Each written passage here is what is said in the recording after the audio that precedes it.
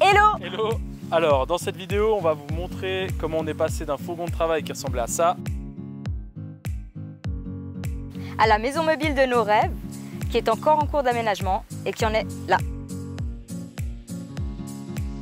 Notre objectif, c'est de réaliser l'aménagement en moins de 90 jours. Et là, vous allez visionner nos 52 premiers jours. Bye bye Bon visionnage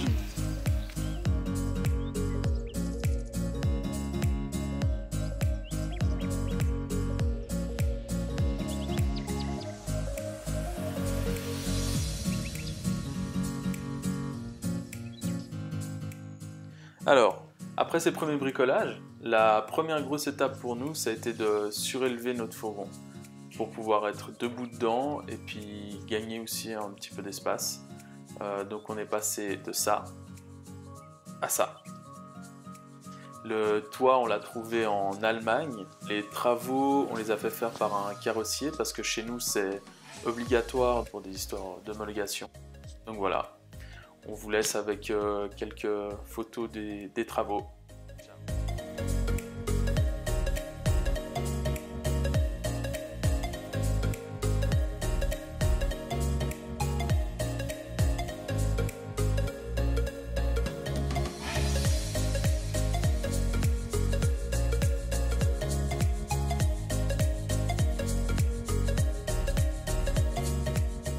Hello hello Alors voilà, premier jour après le montage de ce magnifique toit.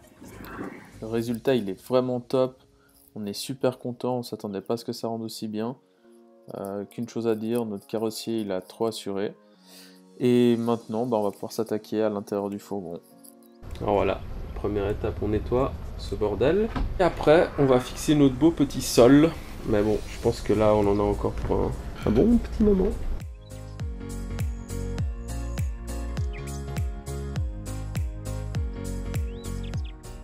Ça, c'était avant qu'on passe. Après qu'on passe. Voilà, deuxième jour fini. Euh, on a bien bossé aujourd'hui. On a tout dégraissé, on a passé tout au diluant. Et là, on vient de finir de mettre une couche de peinture euh, pour protéger le métal, protéger de la rouille. On a pris toutes les mesures pour les tasseaux, on a découpé tous les tasseaux qui vont venir se caler sur notre sol ici, qui va servir donc d'appui à notre futur plancher en contreplaqué. Et donc on va laisser sécher ça, et en espérant que demain matin quand on vienne ce soit sec. Et voilà, Alors aujourd'hui, on a fini de fixer tous les tasseaux et on a commencé à mettre les hum, plaques de polyuréthane entre les tasseaux pour euh, l'isolation. Euh, pour faire tenir les, les tasseaux, on a vissé les deux grands qui font toute la longueur directement à la carrosserie et les autres, on les a vissés euh, sur cela. on a décidé de partir sur du polyuréthane, des plaques de polyuréthane d'une épaisseur de 25 cm. C'est le plus petit qu'on ait trouvé, le plus fin, mais c'est déjà pas mal. Ça a une résistance thermique très très élevée et par contre acoustique c'est un petit peu moins bon. Euh, voilà, ça s'achète par plaque comme ça.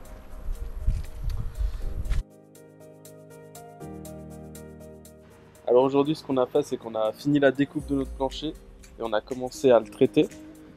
Donc euh, pour le plancher, on a choisi euh, de l'okoumé comme type de bois.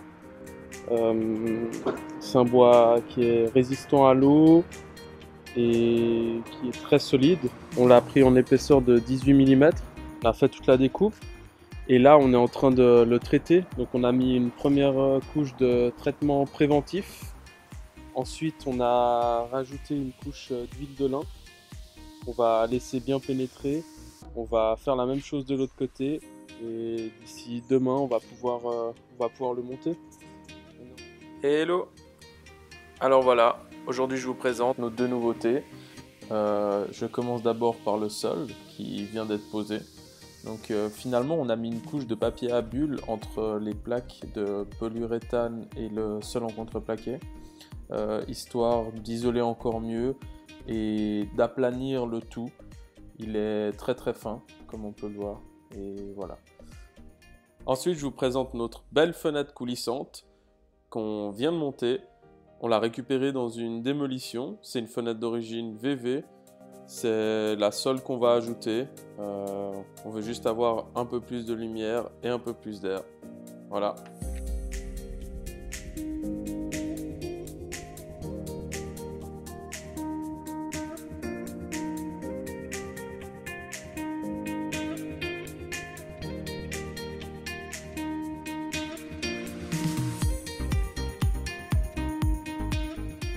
Hello, hello. Alors, là, je vais vous montrer comment est-ce qu'on va fixer nos tasseaux contre les murs. Voilà ce que ça donne. Une fois vissé, ça bouge plus, complètement fixe. En fait, on va quadriller là derrière, là au milieu, ici en bas. On va faire pareil de ce côté. Dans ces tasseaux, ce qu'on a fait, c'est qu'on est venu percer à trois endroits qu'on avait préalablement mesurés par rapport à la tôle.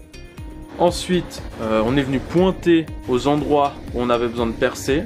Dans ces trous, on est venu fixer des tubes Tara. C'est un système en fait qui vient pincer la tôle et qui a un filetage à l'intérieur.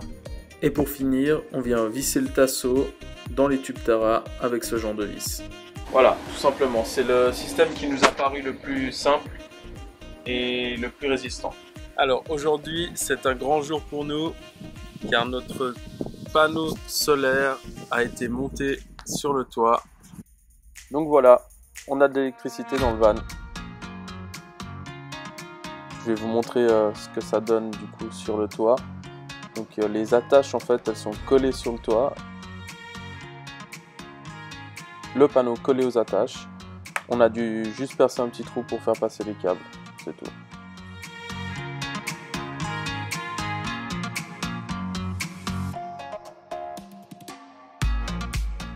Alors c'est un 165 watts. Euh, on a une batterie de 210 ampères. Cette batterie, on l'a mise à l'avant pour deux raisons. La première, c'est son poids. Elle pèse quasi 70 kg et pour la répartition du poids, c'est intéressant de l'avoir à l'avant. Deuxièmement, c'est à cause de l'encombrement. Elle aurait pris énormément de place à l'arrière et à l'avant, on estime que c'est quand même moins dérangeant. Du coup, on a dû enlever notre banquette de place à l'avant et on compte la remplacer par un siège individuel qu'on n'a pas encore trouvé. Alors la batterie elle est tenue par des sangles et des cales qu'on a fixées au plancher à la tôle. Normalement elle, elle devrait plus pouvoir bouger, mais on va encore lui construire une boîte en bois qui servira à la cacher et à protéger les câbles. Donc la batterie elle est ensuite reliée aux appareils à l'arrière par ce petit trou qu'on voit en bas et le panneau solaire par ce trou qu'on voit au plafond. Sur euh, le panneau de bois donc, se trouvent tous nos appareils. En haut à gauche, l'onduleur qui sert à transformer le 12 volts de la batterie en 220-230 volts, ce qui nous servira principalement à recharger nos appareils électroniques. En haut à droite, on voit le chargeur pour recharger notre batterie dans des bornes de camping ou avec n'importe quelle prise de 120 volts. En bas à droite, c'est le régulateur qui gère la charge de la batterie avec le panneau solaire et qui est aussi notre panneau de contrôle pour le niveau de charge par exemple. En bas à gauche, ce sont les fusibles.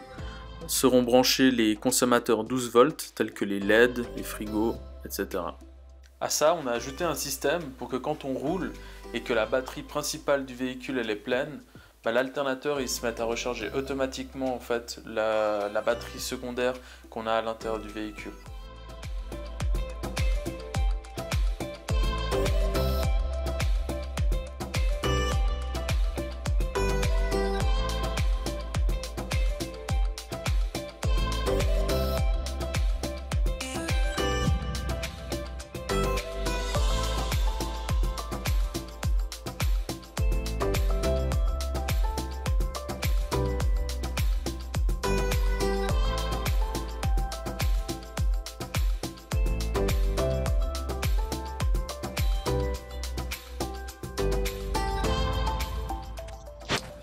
Alors là, je viens de monter le lanterneau.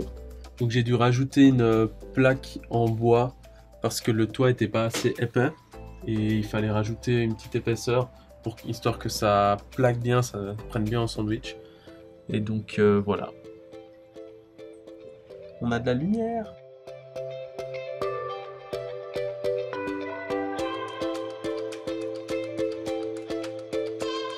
Salut, aujourd'hui je vais vous montrer un petit peu l'avancement du van.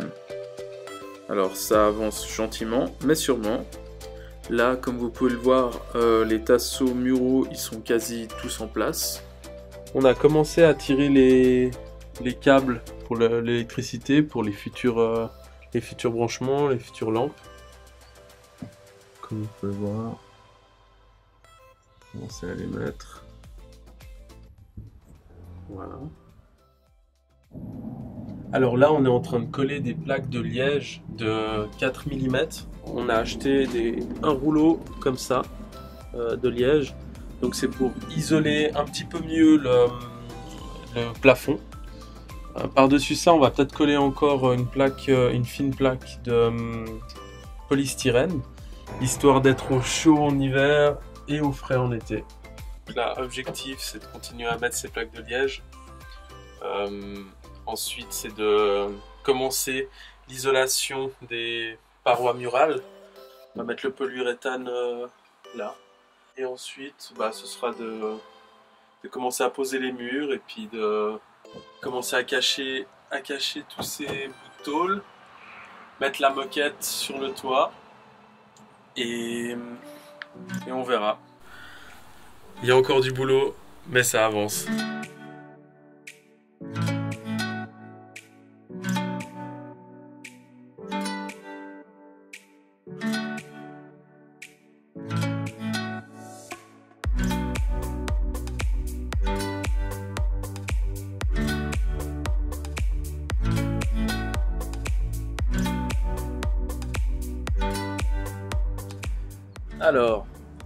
Pose du liège sur le toit, elle est finie, enfin quasiment finie.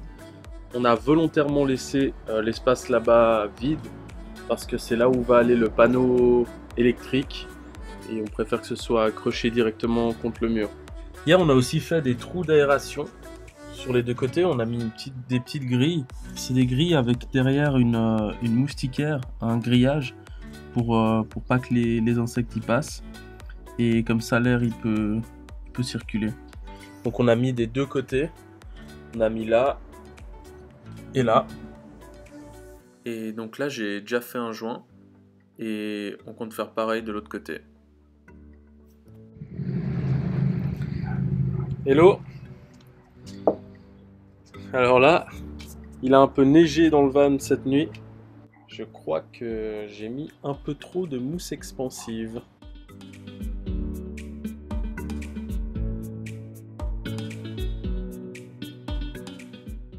En fait, hier, hier j'ai mis euh, de la mousse expansive dans les trous, donc vous pouvez voir là.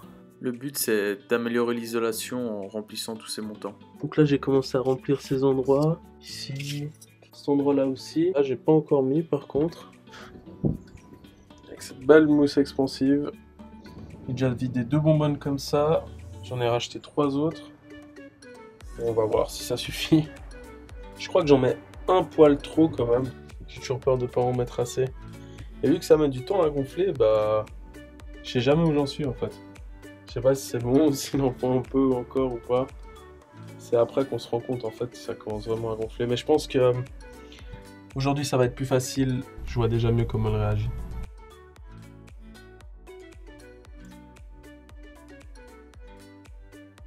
Je vois déjà mieux comment elle réagit. Je vois déjà mieux comment elle réagit.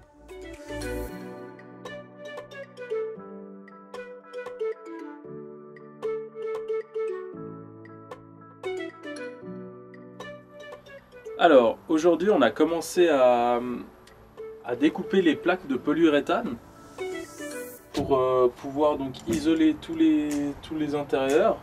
Donc là, il y a déjà une bonne partie de fait. C'est des plus grosses plaques que celles qu'on a mis au sol. Euh, c'est des plaques donc de 56 mm. On les a calculées exprès en fait pour pour qu'elles rentrent. Là, on voit qu'en tout cas, niveau épaisseur, c'est parfait.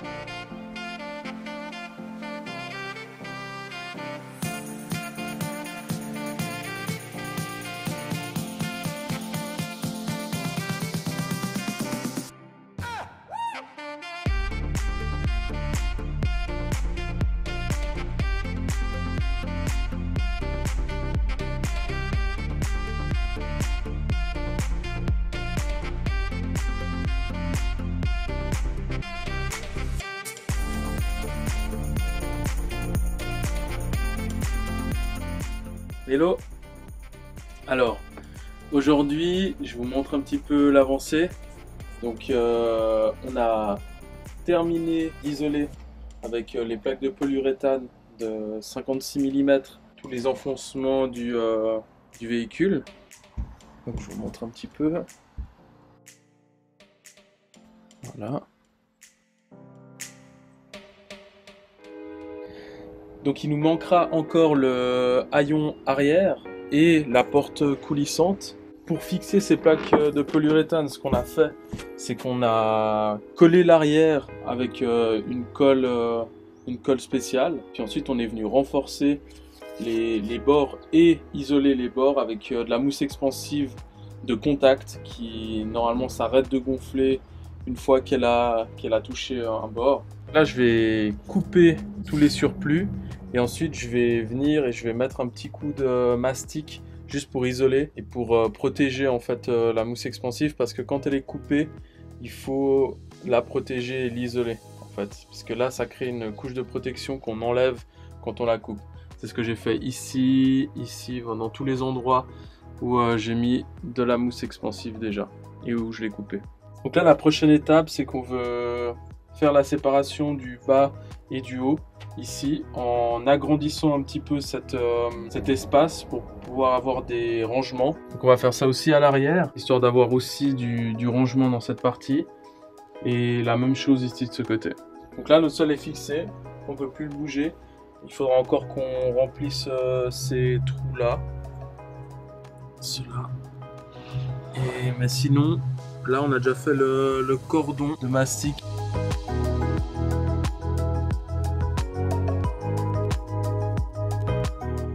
Voilà. Et je profite aussi aujourd'hui pour vous montrer donc le, trou qu'on a fait pour euh, notre pied de table que voici. On l'a vissé par le, par le bas pour qu'il soit ça, ça soit tout le temps fixe. Alors je vous montre. On mettra des vis papillons ici pour pouvoir euh, mettre et enlever assez rapidement sans trop se prendre la tête. Donc la table elle est réglable en hauteur, elle est réglable de côté, et donc on pourra bouger la table comme ça, on pourra également bouger la table comme ça, et elle nous permet aussi de pouvoir la pivoter. Elle fait tout, c'est un miracle.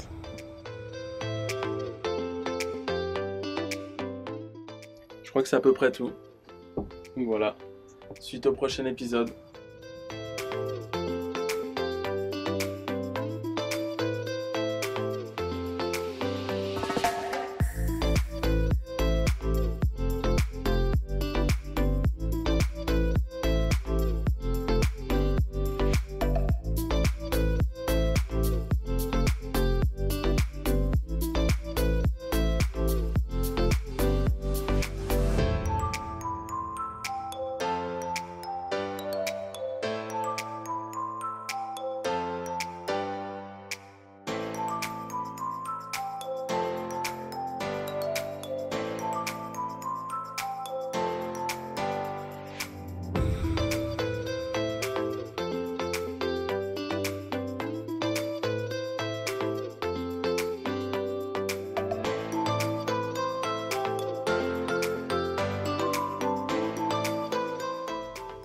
Alors là, ça fait pas mal de temps que j'avais pas fait de vidéo.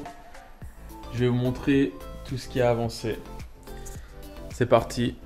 On a posé donc notre euh, multicouche. Pour l'instant, on a fait qu'un test de ce côté. On l'a agrafé. On n'a pas encore agrafé le bas parce qu'il nous reste encore 2-3 trucs à, faire, à finir. Et on voulait faire un test d'abord de ce côté. Le test, il est euh, super concluant. On a donc fini la, séparation du, haut et, du bas. On a fixé nos deux, planches. Pareil de ce côté. Là, on a commencé à, mettre un fond. On va faire ça pour tout le long. Ici, on a, décidé de l'endroit où on va mettre notre box pour, euh, le, panneau électrique qui attend là. Euh, Qu'est-ce qu'il y a encore qui a changé? Ça, je crois que je, vous, sais pas si je vous avais déjà montré les passages de roues. Ils sont pas encore euh, complètement fixés parce qu'on attend de, poser le, multicouche.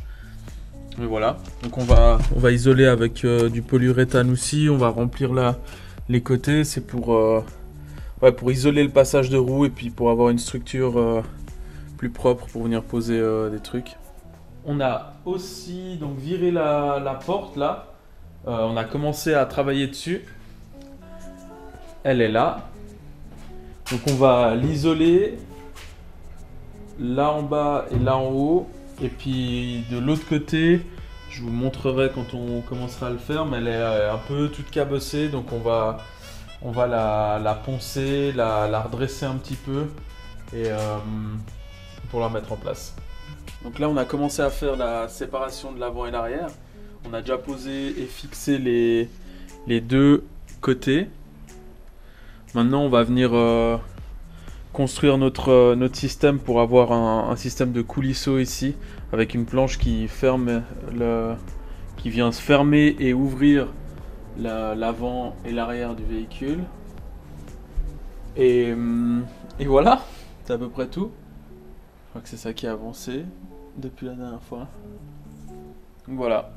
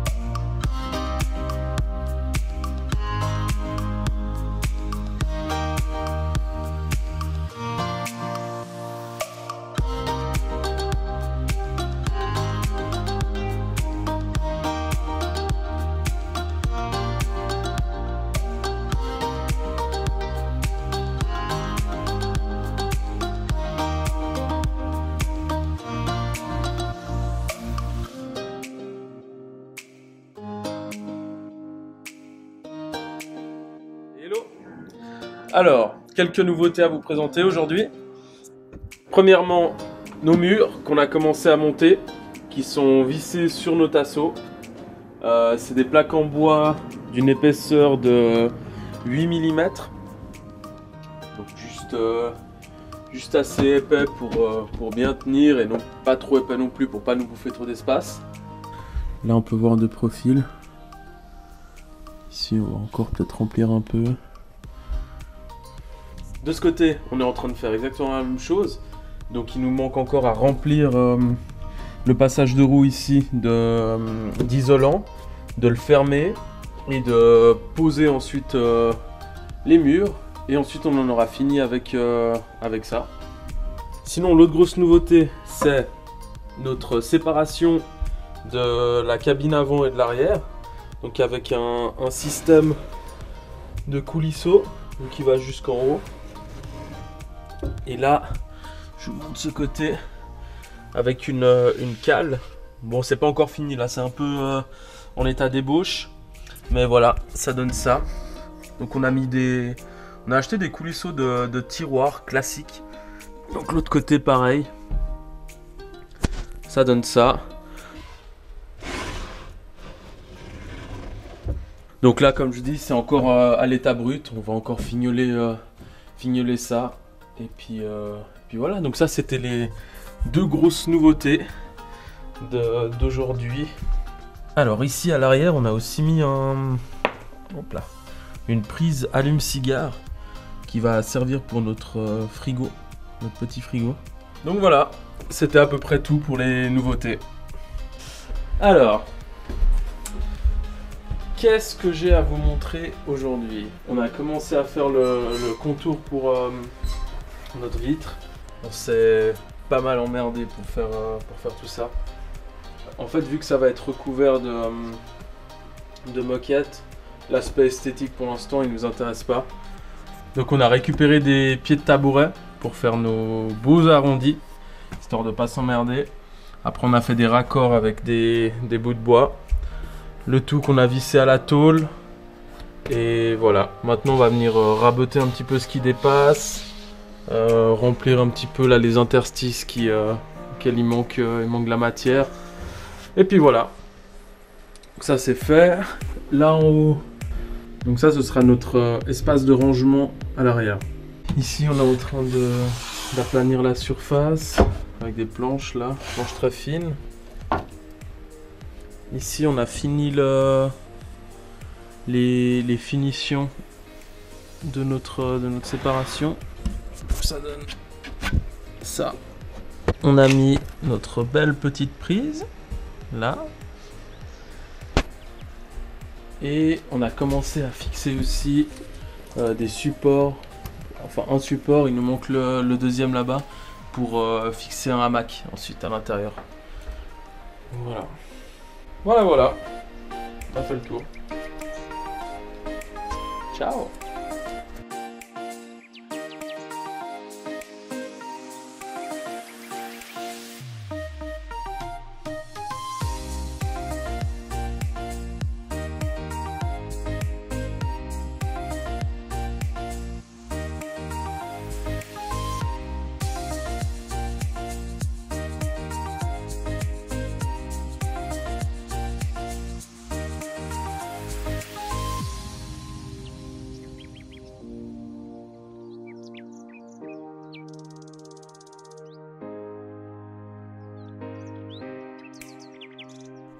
Hello? Alors, par quoi je commence? Là derrière, on a fixé notre, euh, notre planche pour euh, les rangements.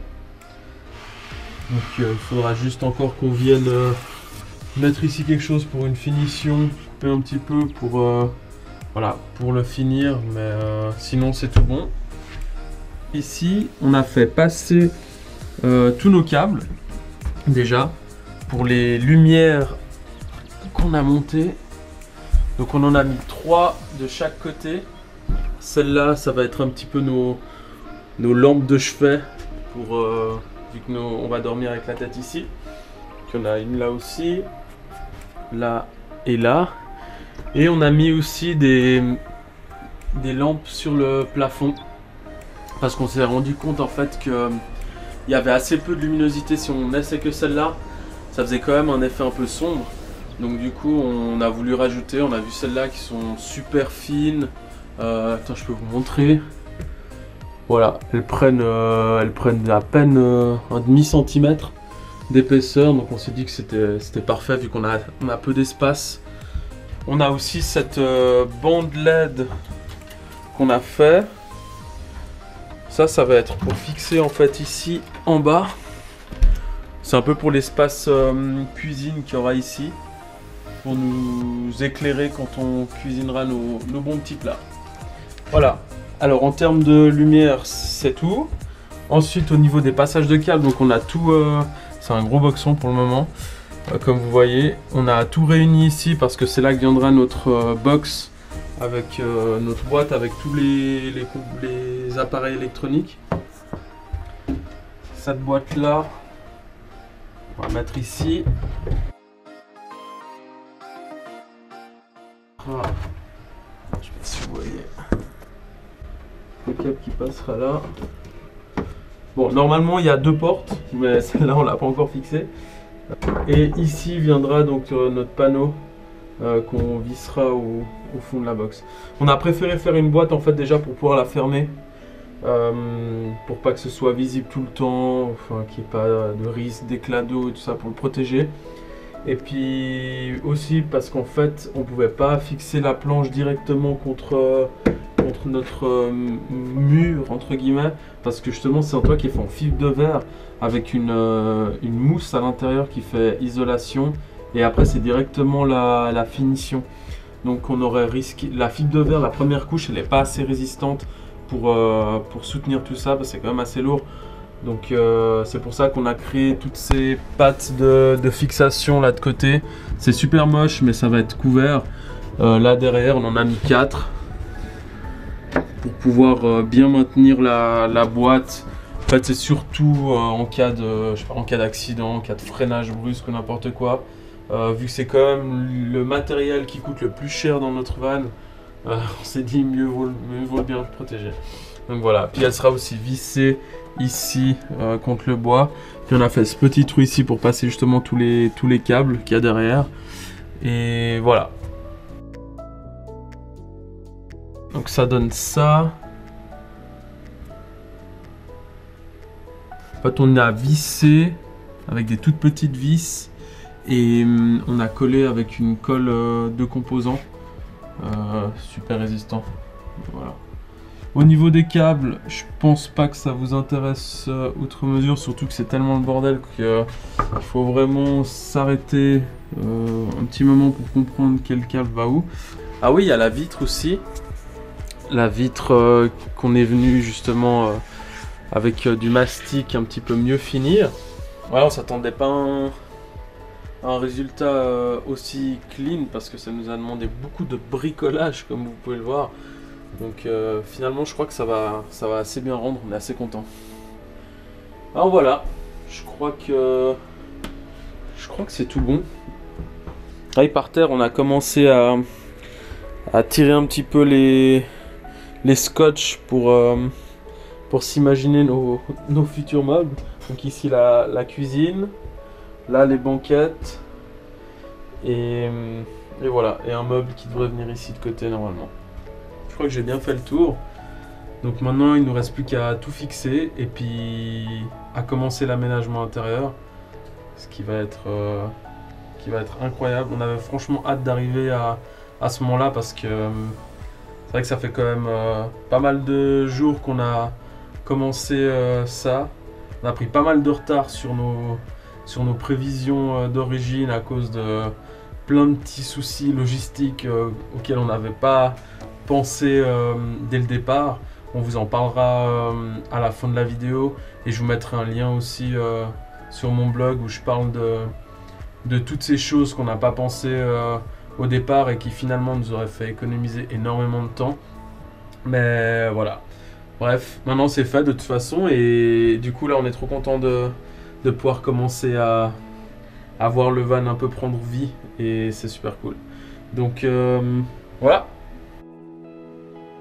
J'avais oublié de vous montrer un autre truc qu'on a fini. Notre belle porte.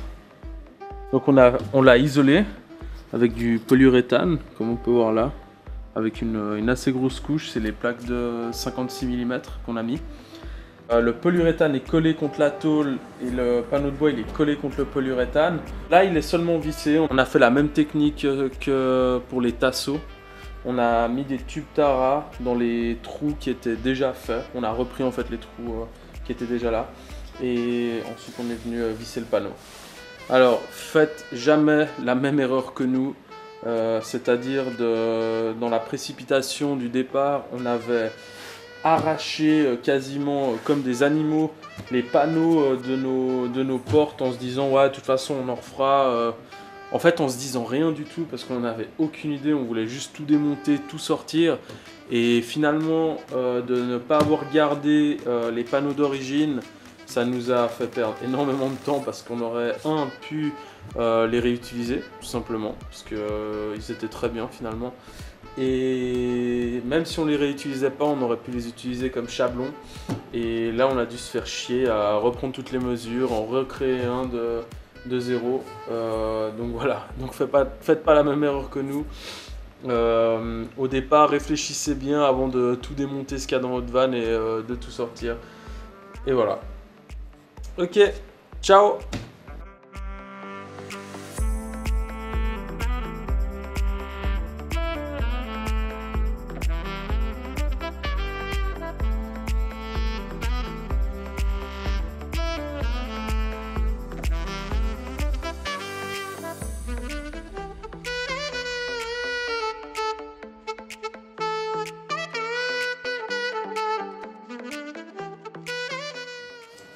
Alors, aujourd'hui, on va commencer à poser la moquette à l'intérieur du van. Euh, donc en fait, ouais, on a choisi comme, euh, revêtement muraux euh, de la moquette celle-là. Donc c'est de la moquette à poil très fin. C'est un gris clair. Un gris souris, diraient certains. là on a on a deux rouleaux comme ça et on a déjà commencé, enfin quasiment fini la, porte. Ça donne ça. Là, il y a madame qui est en train de finir les, finitions ici pour la poignée. On est content du résultat. Ça donne bien, c'est cool. On l'a déjà essayé, on, l'a déjà monté euh, la porte pour voir ce que ça donnait. On, a trouvé ça sympa. Et puis voilà, mais là le, gros reste à faire. Parce qu'on va vraiment euh, mettre partout, partout. Sur le plafond, tous les murs. Le seul truc qui va rester euh, sans moquette, c'est ces passages de roulard. Le sol, on va mettre du lino. Et puis cette planche ici de séparation. Où on met, on sait pas encore ce qu'on va mettre, mais on verra.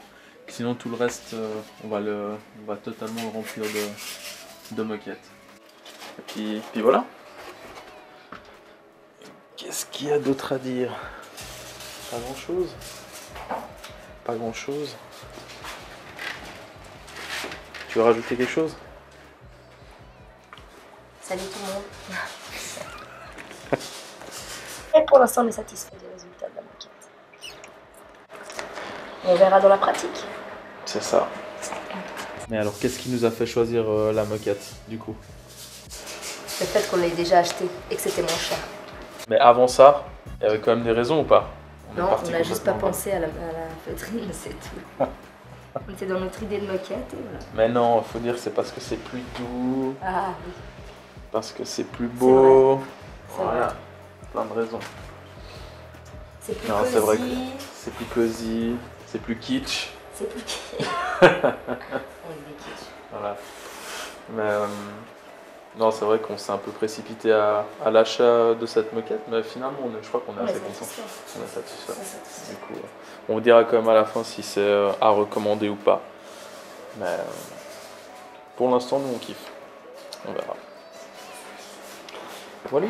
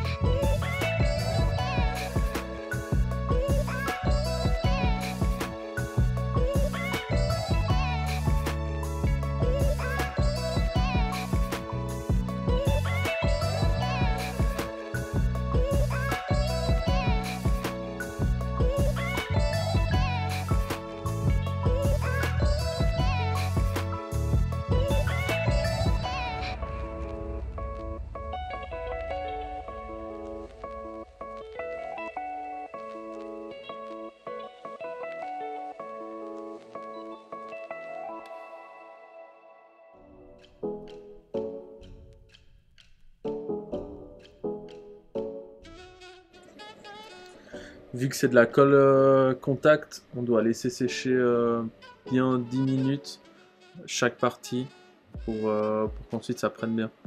En fait, il faut que la, colle contact, elle soit, quand on la touche, quasi sèche. Et quand elle est sèche, là, c'est que c'est bon, on peut y aller. Donc là, ça commence à être bon. Je pense qu'on va y aller. Faut faire attention à nos poumons, c'est important. Les vapeurs de ce machin, laisse tomber. C'est horrible. Je pense qu'on perd euh, 1000 neurones à chaque bouffée d'air. Une connerie dans le genre.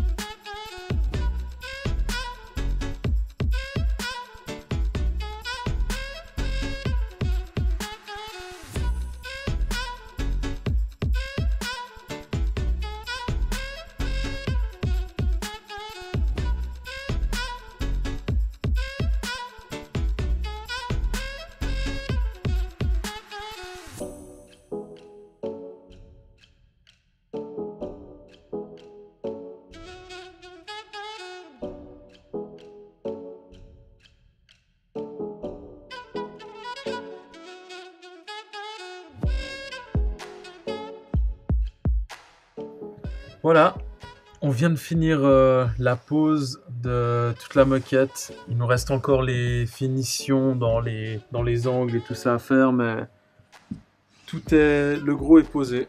Alors je vous fais un petit tour du, du propriétaire. Un espace de rangement à l'arrière. Notre euh, box avec euh, tout le matos électrique qui est en marche. Comme vous pouvez voir, nos lumières fonctionnent. Là. Nos petites lampes de chevet.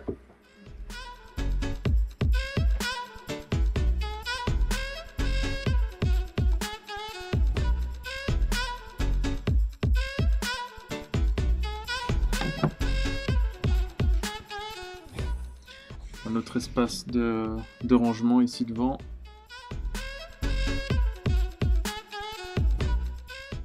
Ici on a laissé un câble mais euh, on ne sait pas encore si on va l'utiliser ou non. Bah, au cas où on a quelque chose à rajouter. La finition de la fenêtre.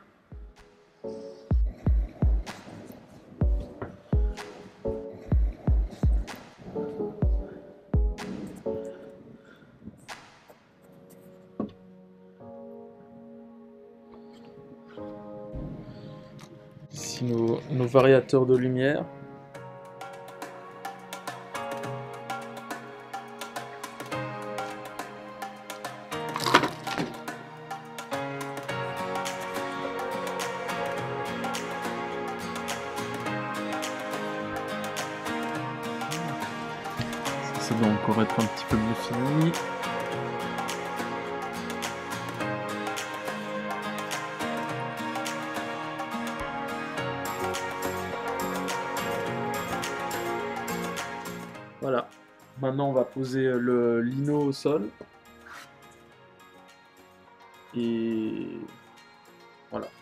Les finitions de, de moquette à faire. Et on, va, on va tenter de, de mettre le lino encore ce soir. On va voir si on, si on y arrive ou pas. Suite au prochain épisode.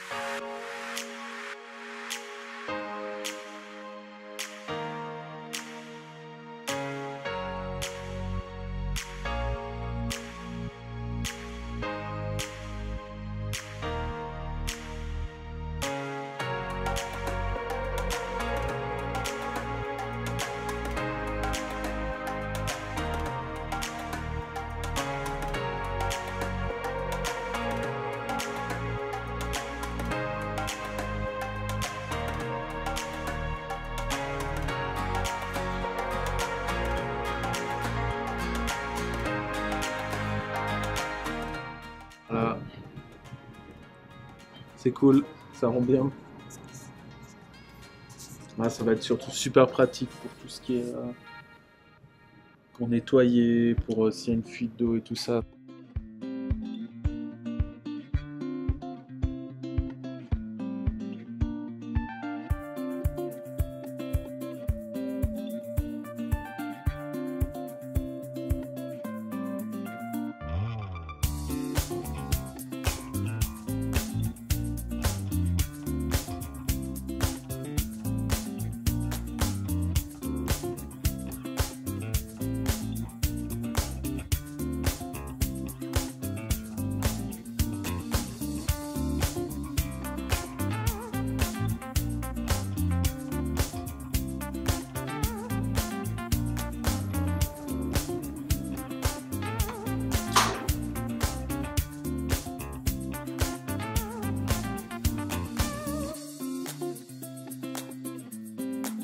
Donc il nous manquera encore le haillon à...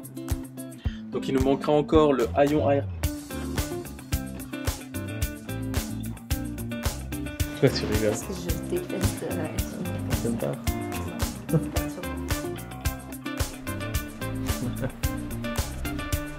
Hello. Alors, euh... Hello. Alors... Putain. à la maison de nos rêves, mobile. Ah ah et, et on va la refaire. Hello Hello Il faut. Putain. Bon, qu'est-ce que je veux dire? Ah putain.